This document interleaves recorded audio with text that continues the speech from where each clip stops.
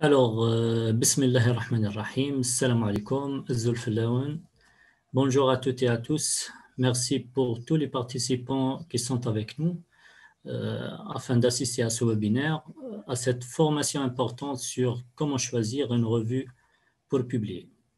Alors, euh, on va essayer au cours de cette formation de, parler sur les documents scientifiques, sur l'originalité des résultats et, comment savoir que tel travail est publiable. Et bien sûr, on va présenter des outils intéressants pour trouver facilement le bon journal afin de soumettre euh, nos résultats. Voilà.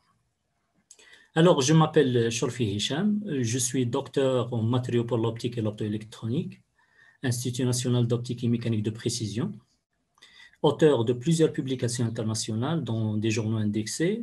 J'ai un livre scientifique, un brevet d'invention, une start-up et je suis l'ambassadeur du groupe Elsevier en Algérie. Et je vous rappelle que cette session est enregistrée et il n'y aura pas des attestations de participation à la fin.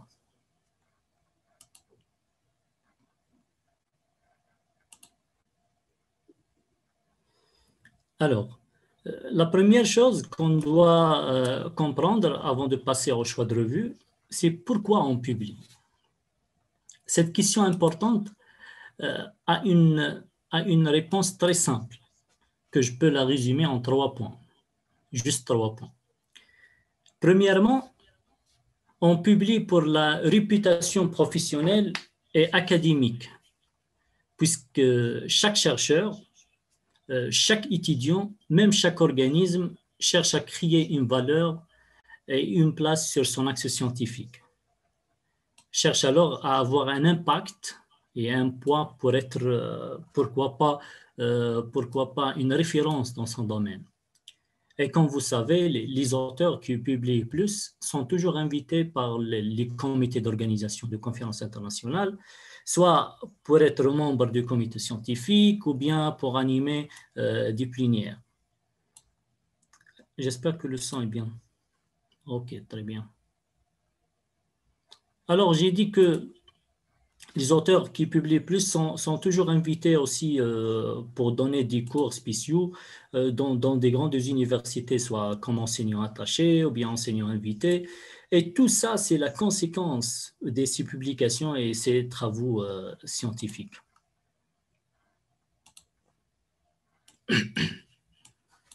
Alors, et, cette valorisation et, cette réputation scientifique va influencer sûrement sur sa réputation professionnels. Ça, c'est pour les enseignants, pour les fonctionnaires en général. Aussi pour les étudiants, hein, euh, la réputation scientifique aide beaucoup les gens pour bénéficier des, différentes opportunités, comme les stages d'études, soit à courte durée, longue durée, même les bourses. Euh, beaucoup d'opportunités jusqu'à jusqu'à la fin de carrière. Deuxièmement, c'est pour l'avancement dans le carrière et le grade. Et je parle ici d'évolution d'échelon et de grade. Et ça, pour les fonctionnaires dans, certains secteurs, soit, évolution dans la même fonction, sinon en changeant carrément le secteur d'activité à cause des opportunités et les occasions qu'il trouve grâce à sa production scientifique.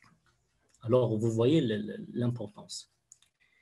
Et les publications aident aussi les étudiants hein, et les doctorants pour soutenir leur thèse de doctorat, et ça aussi est un avancement dans le carrière. Troisièmement, c'est pour trouver des opportunités de financement.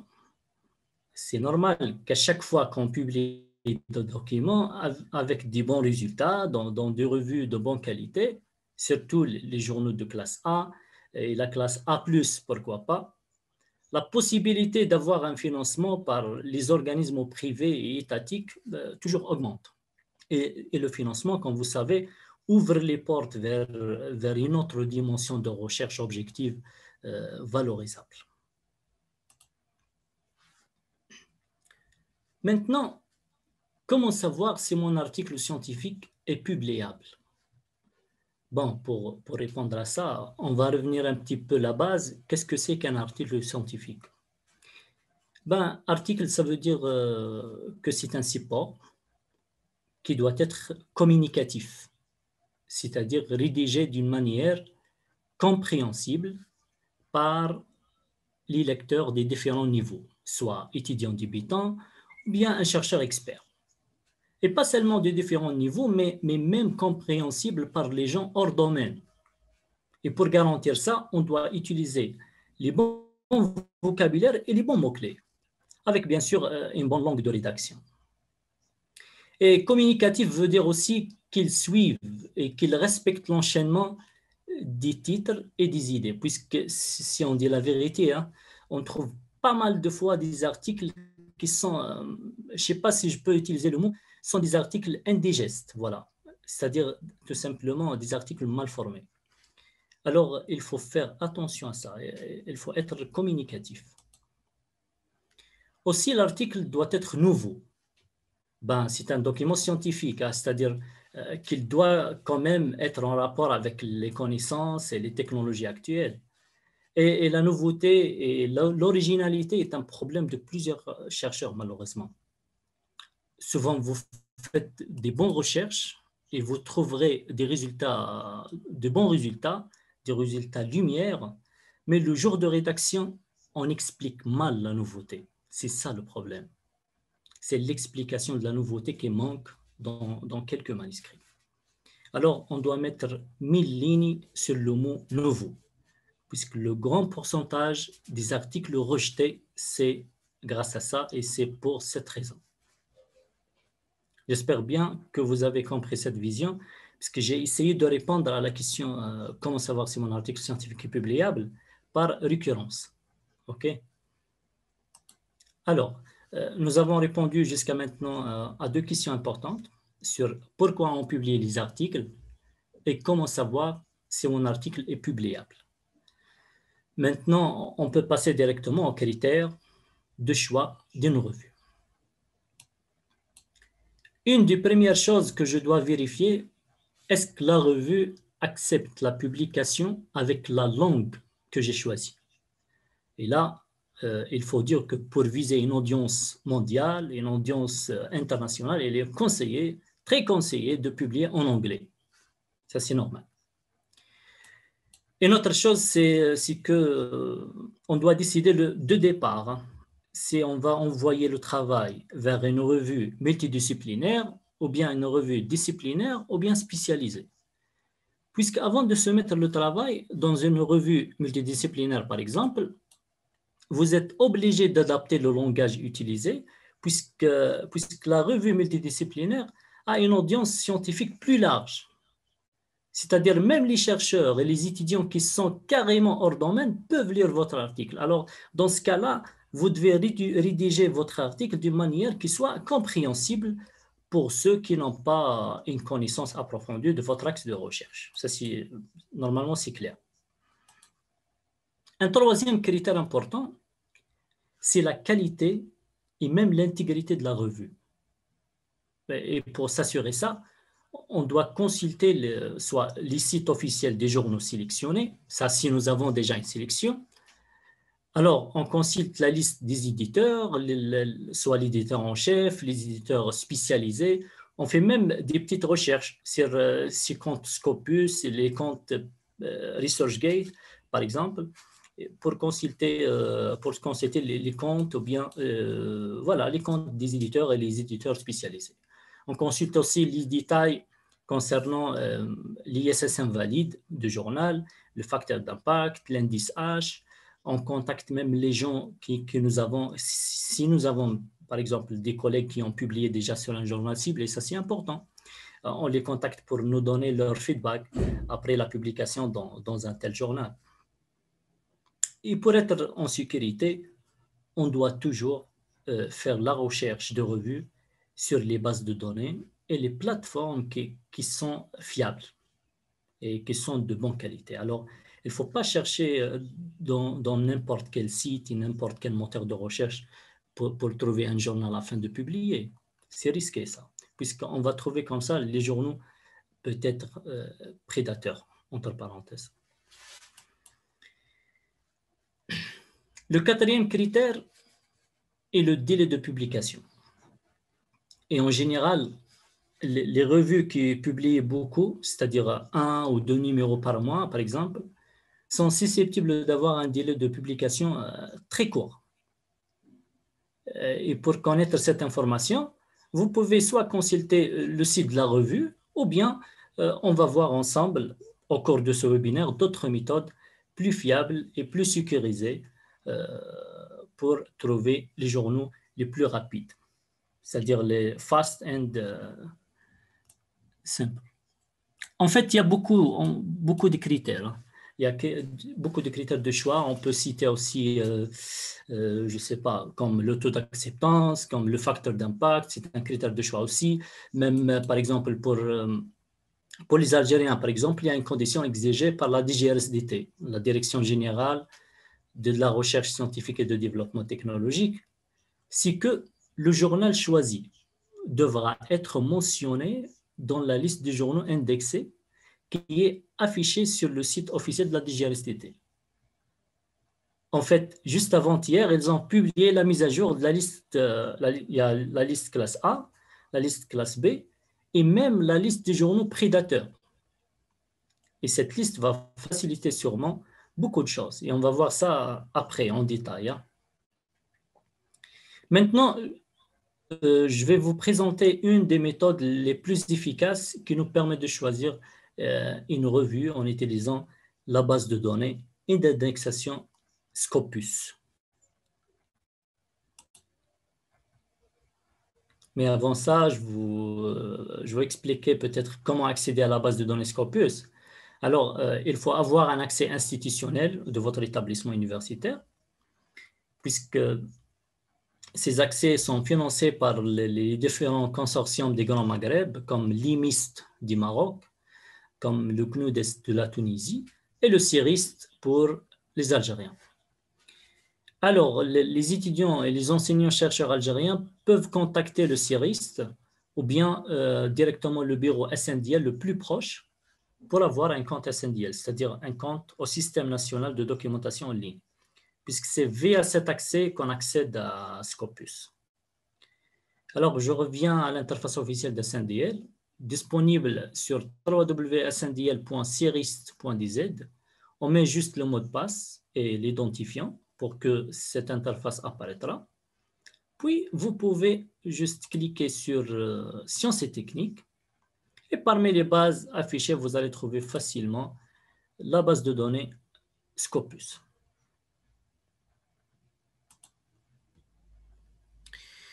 Pour parler euh, tout d'abord rapidement sur, Scopus, puisqu'on a reçu beaucoup de questions les derniers temps, je peux dire que c'est une base pluridisciplinaire de résumés, de citations, euh, qui signale des centaines de millions de documents scientifiques produits par plus de 5000 éditeurs.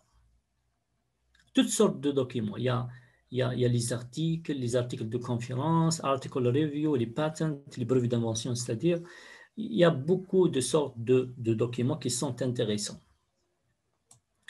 Et sur Scopus, on peut faire la recherche soit par, euh, par document, c'est-à-dire qu'on lance la recherche d'un sujet ou d'un document à partir d'un titre ou bien d'un mot-clé, ou bien de plusieurs mots-clés. Voilà. On peut faire même la recherche par nom d'auteur et la recherche par affiliation. Alors, la fois passée, le webinaire du 18 janvier, j'ai testé le sujet de la, diffusion de la lumière.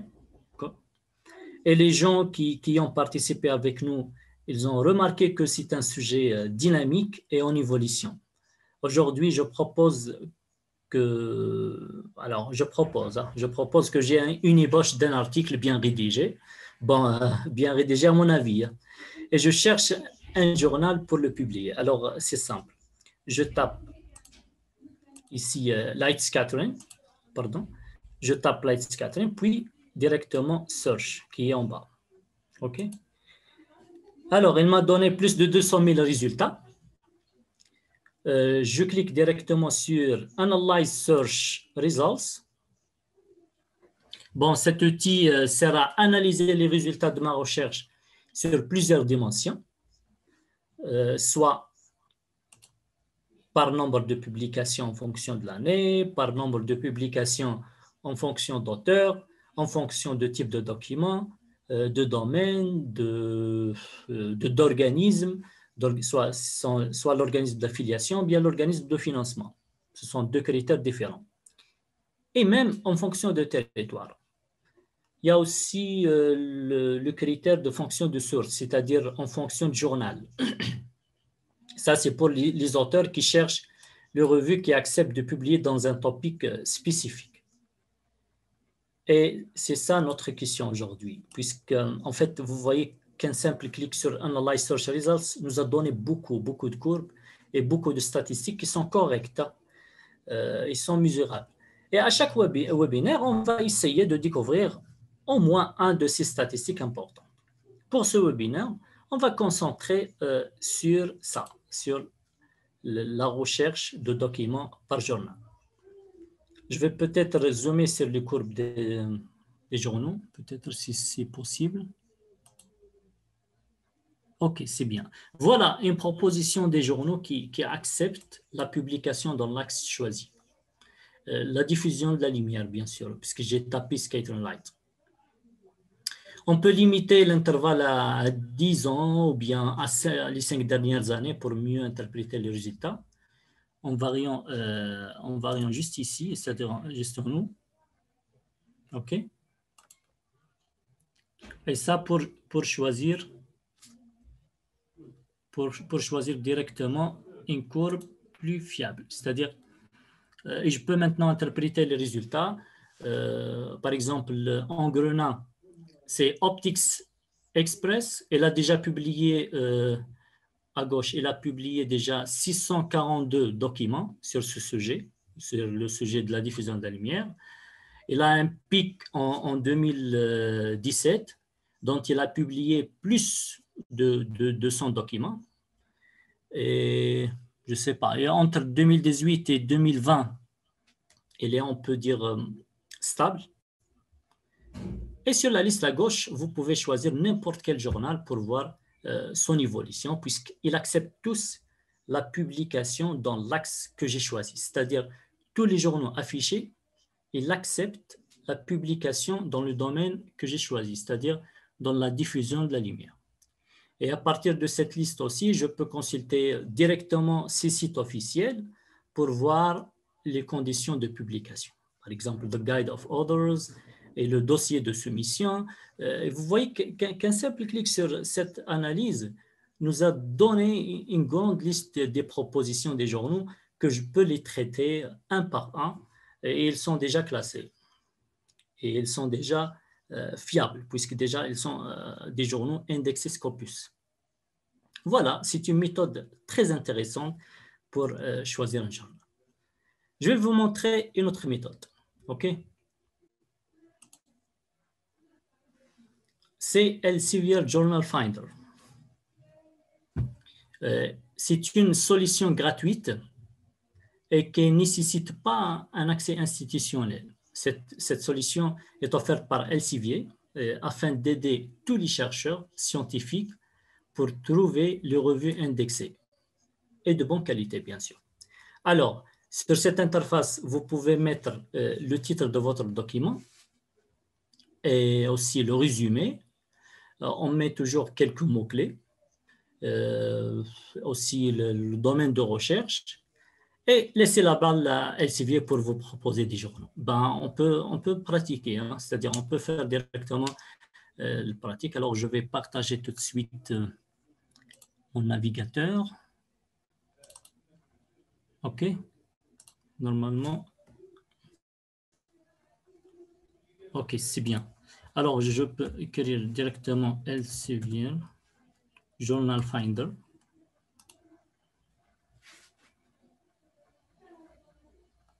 Voilà le site, c'est journalfinder.elsevier.com. OK. Directement sur l'interface de, cette plateforme, de cette fameuse plateforme qui, qui, nous aide pas mal de fois afin de trouver des bons, des bons journaux on fait la recherche, on met le titre, le résumé, euh, quelques mots-clés, le domaine, et même on peut raffiner vers euh, d'autres. OK, je vais faire la, euh, pratique. Je ne sais pas si j'ai un résumé, un titre et tout pour faciliter tout ça et rapider ça. OK, c'est simple. Alors, c'est un titre. Voilà, je mets un titre. Study of Biological Sample by Surface Plasma Resonance Biosensor Using Admittance Lossy Method. C'est dans le domaine de l'optique. Euh, paper abstract, c'est-à-dire on met ici le, résumé. OK, j'ai un résumé. C'est juste pour vous montrer comment faire la recherche d'un journal via cette plateforme d'Elsevier. OK Pour les keywords,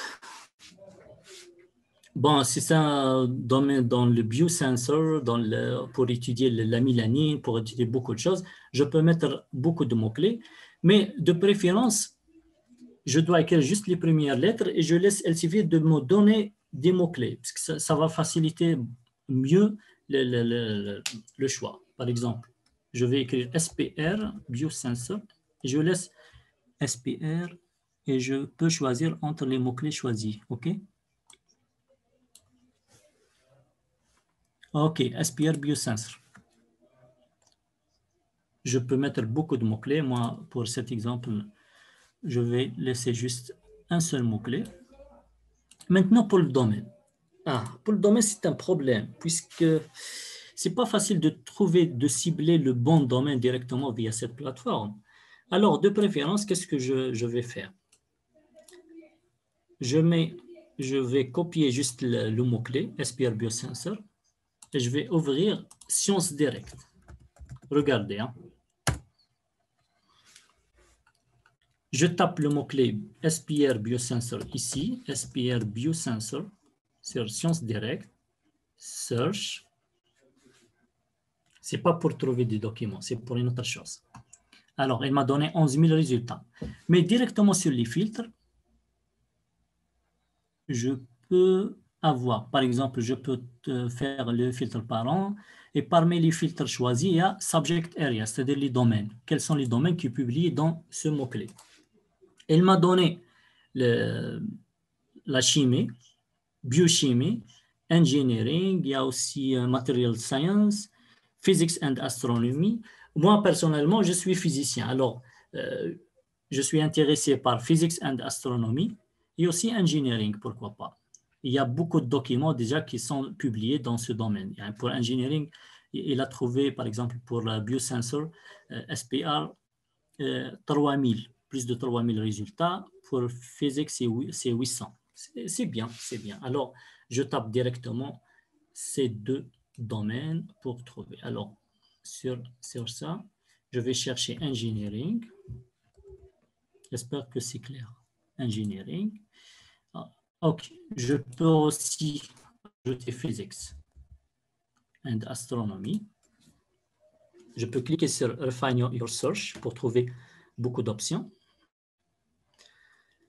Alors, publication type, je peux choisir, par exemple, parmi les journaux qui sont open access ou bien les journaux qui sont euh, subscription, moi, je laisse ça. C'est-à-dire, euh, je laisse l'open access et même subscription. Euh, un autre filtre très important, c'est qu'est-ce que vous choisissez exactement? Est-ce que vous choisissez des journaux de haute qualité ou bien d'une qualité moyenne? Une qualité moyenne, c'est-à-dire on parle d'un facteur d'impact entre 0, 2, 4, ça dépend le domaine. Hein, ça dépend le domaine. Par exemple, moi personnellement, je limite euh, ma recherche. Je voudrais savoir ou bien avoir des journaux euh, entre 0 et 5, 5 en facteur d'impact. Et même concernant le site score. Site score, c'est un indicateur aussi pour euh, c'est calculé par Scopus. Site score est calculé par 4 ans et l'impact factor par 200. Ok. Euh, toujours par rapport aux citations, le nombre de publications. Hein. Le site score, il, prend en considération tout type de documents, c'est-à-dire même les, les, articles, les documents qui sont publiés par les conférences dans le site score, mais le facteur d'impact est une autre chose. Euh, un autre filtre très, très important, c'est que le temps de publication. Est-ce que vous cherchez des, journaux qui sont fast, c'est-à-dire avec une euh, first decision qui est rapide, c'est par week, par semaine. C'est-à-dire, par exemple, je, cherche des journaux où le, le, temps de première réponse ne dépasse pas les 12 weeks, c'est-à-dire ne dépasse pas les 3 mois. Ce sont des chiffres réels, hein, oui, calculés à partir de la base Scopus. Bon, et même time de publication. En fait, time to publication, il y a après time to first decision, c'est-à-dire il y a le temps de la première décision, il y a le temps de la publication finale. Par exemple, je vais choisir ici euh, 8 semaines.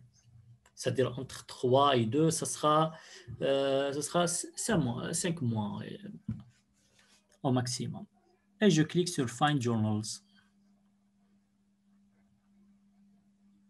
Alors, il m'a donné 17 journaux qui correspondent euh, ma recherche. Numéro 1, c'est Optics Communication avec euh, facteur d'impact 2,12. Il y a aussi une information importante ici, c'est le, pourcentage d'acceptation. Il m'a donné pour Optics Communication, il m'a informé que le pourcentage d'acceptation est 29%. C'est-à-dire que Optics Communication accepte dans la moyenne l'un des articles soumissionnés. C'est un bon paramètre ça pour avoir euh, un journal à la charte. Il y a aussi euh, time to first decision, c'est four weeks, c'est-à-dire c'est euh, très fast, juste quatre semaines. Et deux semaines après pour la publication, c'est-à-dire le tout c'est six. Il y a aussi des, ce sont des, sont des estimations, hein, des approximations, des estimations. Deuxième, c'est optique avec K. Euh, time de first decision, 2 jusqu'à 3, 3 mois. Le, pourcentage d'acceptance, un tiers aussi. Je peux euh, jouer ici sur l'ordre chronologique. Je peux, par exemple, euh, choisir le journaux, bien classer le journaux par rapport au pourcentage d'acceptance, soit soit euh, high to low ou bien low to high. Moi, je laisse high to low. C'est Optical Fiber Technology. Le, pourcentage d'acceptance, c'est 42% pour cette sélection. Hein. Mais elle est fast. Elle est très, très, très fast. En fait, c'est une euh, plateforme, c'est une solution très, euh, on peut l'utiliser toujours pour trouver des journaux. Moi, moi je l'utilise souvent. Hein. ok, je peux revenir maintenant au diapo. Où est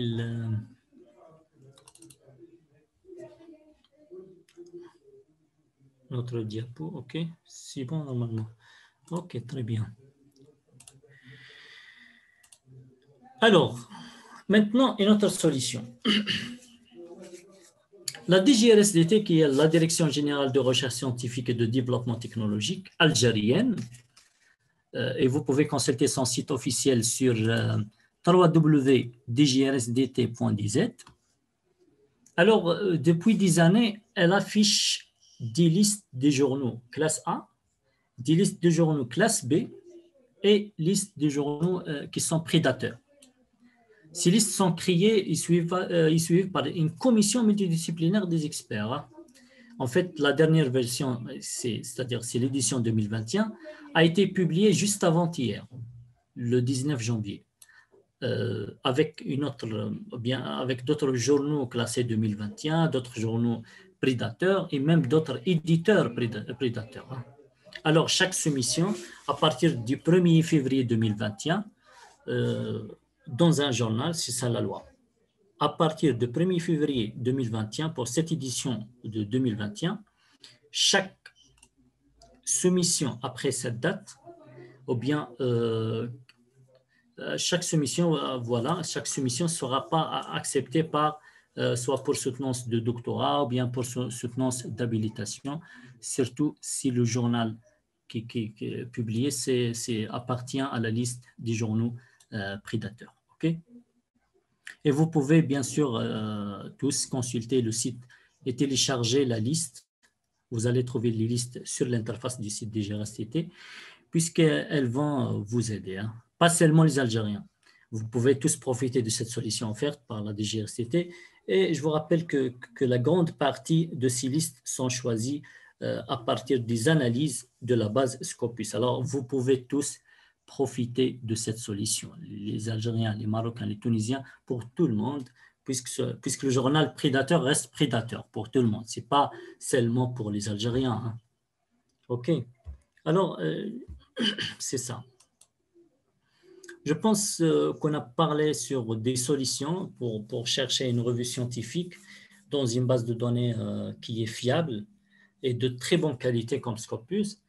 J'insiste sur l'utilisation de, ces solutions pour surtout éviter les revues prédatrices et pour, chaque webinaire, on va donner plus d'informations pour chaque, plus de solutions, c'est-à-dire afin de maîtriser euh, le processus de, choix de sujet euh, et le choix de journal. Bon, voilà, parmi les webinaires qu'on va euh, programmer, c'est le, le, le, webinaire sur la maîtrise de processus de choix de sujet, sur le choix de journal, sur la préparation de templates, la préparation des dossiers de soumission, la recherche de financement, beaucoup de choses et vous êtes invité euh, à une autre formation, par exemple, le 25 janvier à 11h, toujours sur comment, euh, sur comment collaborer avec euh, des auteurs et comment trouver des moyens de financement pour nos projets et pour nos recherches, nos recherches scientifiques. Alors, je vous remercie et je passe aux questions. Et je vais essayer de répondre aux questions qui ont euh, aux relations avec le sujet d'aujourd'hui, qui est le choix de revue. J'espère que vous avez compris le,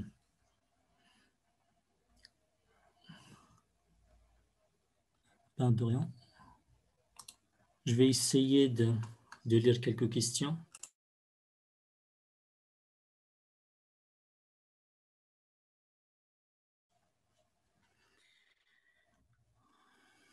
Bonjour, pardon, je vais lire.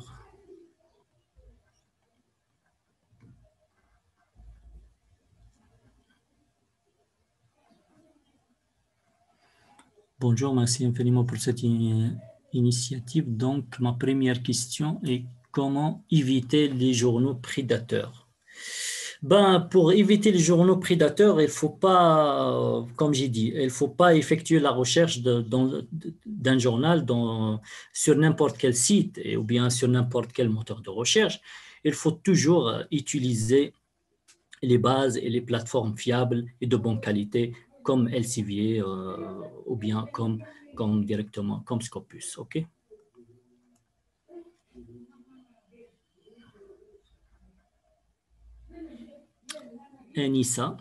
Qu'est-ce qu'un journal prédateur? En fait, un journal prédateur est un, est un site qui se présente comme une publication légitime et, euh, et même à libre d'accès. Généralement, euh, le journal prédateur caractérisé par un délai de publication très court. Tout ça pour pousser les chercheurs à payer les, les, frais de publication.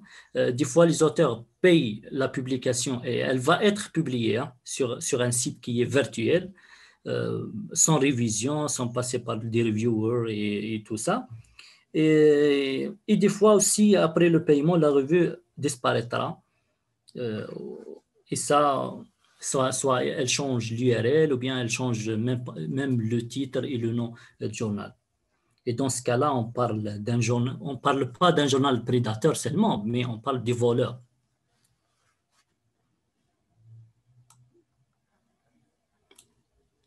Oui, l'enregistrement sera disponible sur euh, Elsevier Africa.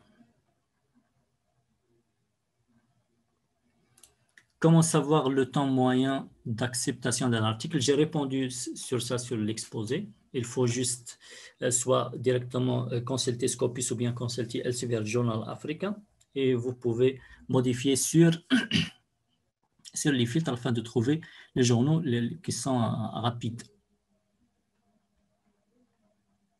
Les revues indexées sont les parmi les ABC. Oui, oui, vous allez. Sinon, si vous êtes euh, connecté avec la DGRSTT, directement consulter le site ou bien sur Scopus et vous pouvez directement trouver et garantir que ces revues sont indexées. Oui, vous pouvez avoir l'enregistrement après.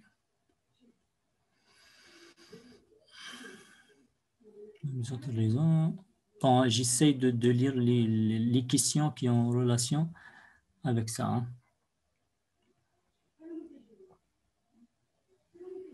Quelle est la différence entre, quelle est la différence entre magazine et revue?